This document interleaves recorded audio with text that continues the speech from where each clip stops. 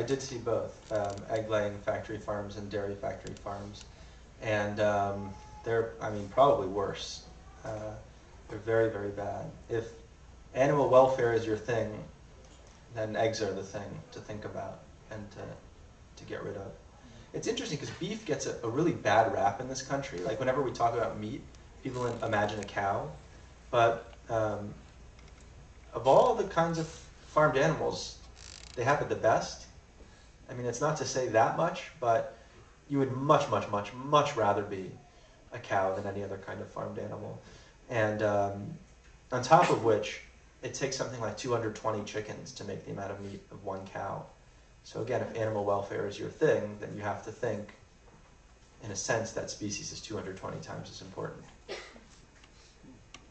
are you vegetarian or vegan? So am I vegetarian or vegan? Uh, I'm certainly closer to vegan, and uh, the only thing that sort of keeps me from being that is, um, I mean, I wouldn't buy eggs or dairy in a store, um, and I and I, I, probably eat some things that occasionally have them in them. Um, I came to that argument much later. It actually wasn't something I was even totally aware of until I was well into this book. I think that um, it is the, the, total extension of the argument. I mean, it is the right thing to do. Um, it is also a lot harder. You know, I don't have, you know, in this world, anywhere in America now, it's not that hard to be a vegetarian. I would even say you're not missing anything. But being a vegan takes more thought. You really have to devote more more of your time to shopping and to cooking, and that's great. We should probably do that anyway. But it's a, it is a reality of that. I've raised her. Uh, I've been vegan 15 years, and I've raised my daughter 100% vegan, and she's by far the healthiest child that I know of by far. Her immune system is like through the roof. Mm-hmm.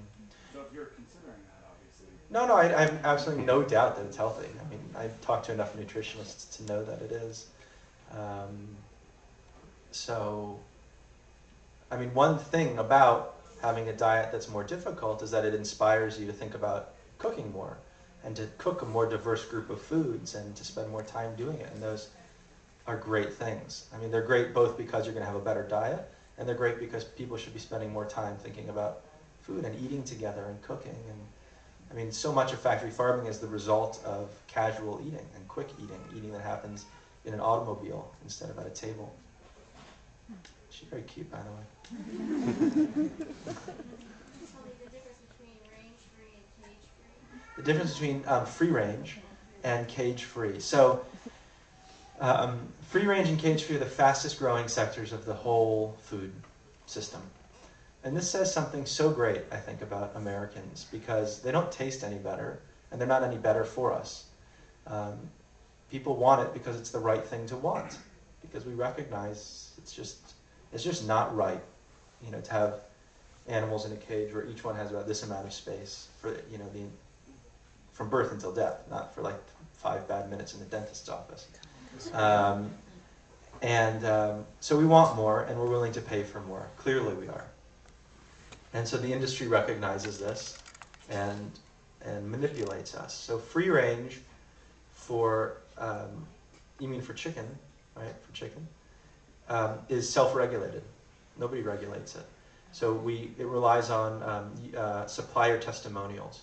So let's just say I were a factory farmer. And let's just say I had 100 chickens in this podium right now that you can't see, which is fitting because you won't see the chickens that you eat. Um, I could call them free range, and I could sell them. I could call the meat free range. I could call the eggs free range, and um, sell it to you for more. And you'd be giving more of your money because you're pursuing your best instincts, not because it's better for you, not because it tastes better. Um, and that's frustrating, at least. In terms of cage free, it, it means exactly and precisely what it sounds like, and nothing more. So a cage free egg is, is a cage free um, chicken um, by the way, all chicken we eat meat is cage free. That those kinds of chickens aren't raised in cages, only egg laying hens. And um, to say that they're cage free is to say that they're not in cages. Now, often they will have more or less the same amount of space as they would have had in a cage. They will be in a you know windowless shed with 30,000 of their compatriots. Um, And it's just not what we imagine. I mean, the real problem with farming is that we have a mental image of what it is, and then there's the reality of what it is. And there's this great distance between our mental images and, and the realities. And we have no clear line of sight between the two. It's impossible to know if what we're envisioning is right or wrong because we can't go to these farms even if we want to, and most of us couldn't anyway because we're busy people. We just don't have the time to go to all of our food providers. On top of which, if you ever see an image on a package of meat or eggs, it's going to show you a bucolic farm that corresponds to your mental image and has nothing to do with the source of that food. So we have to either correct our mental images or correct the reality. If we correct our mental images, people are going to stop buying it because they don't want to contribute to that. They don't want to cast their vote for that. They don't want to adjust that.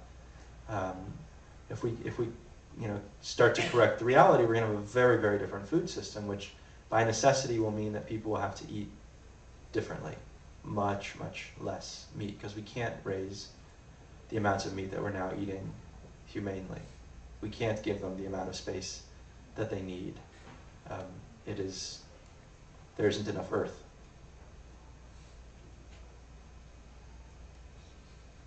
Has there been a backlash to the book or to you, or do you expect one from the industry? Has there been a backlash? This has been one of the most surprising things to me is that there hasn't been.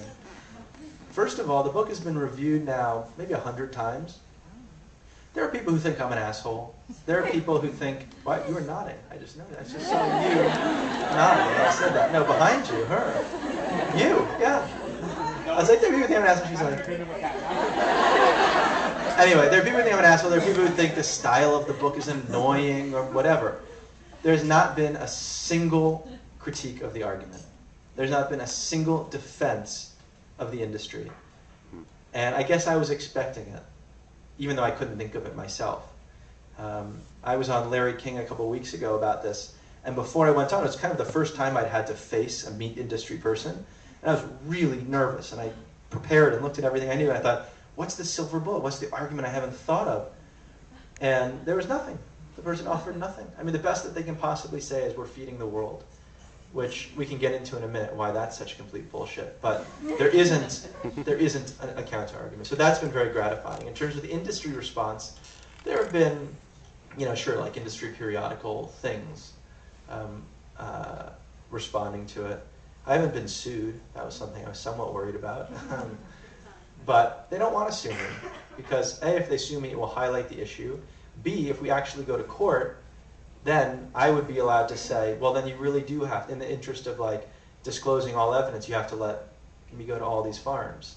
And they, that's the last thing in the world they want. So, will anything happen? Probably. I don't know. I have no idea. I have no experience with this. But I've been, I've been surprised thus far um, that it's been, it's been a very, a very smooth ride. Okay, two more questions? Think this person. Yeah, um, have you been to a meat producing farm that is what you'd like to see as a model for in farming in general? Ah, have I been to a meat producing farm that would be a good model?